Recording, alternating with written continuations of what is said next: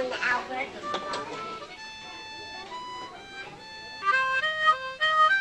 In this film, we're going to be discussing the Vygotskian approach to play. Lev Vygotsky was a contemporary of Jean Piaget. He was a remarkably well-read person, and his thought was far-reaching. His most definitive piece on play was written in 1933. Entitled Play and its Role in the Mental Development of the Child, it was originally a speech and contains many interesting insights on play. He saw fantasy play, in part, as a means in which a child could defer immediate gratification. Instead of throwing a tantrum or swallowing his desire when faced with something he cannot do, a preschool child discovers that he can fulfill his needs in fantasy play.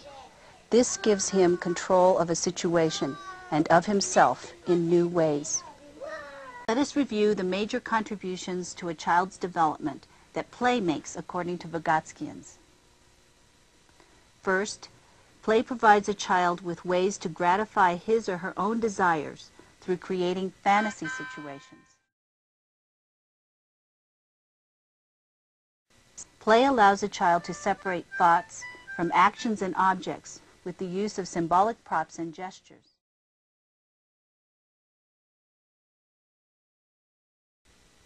And third, play allows a child to practice self-regulation and other skills not normally possible in the real world.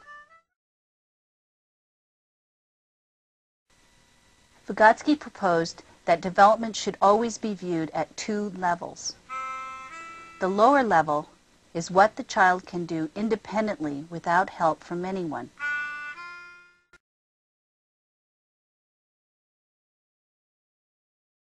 The higher level is what the same child can do with assistance. The assistance can be direct or indirect.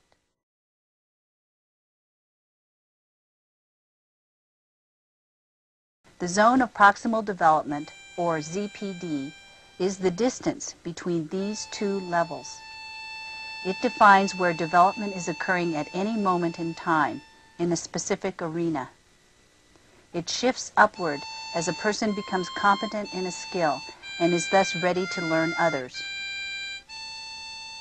Vygotsky's work reminds us of the processes necessary for children to regulate their own internal and external behavior.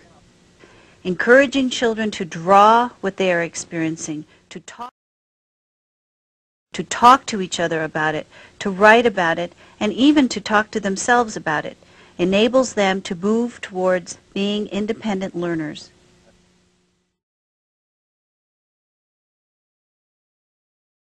Good job, Alex.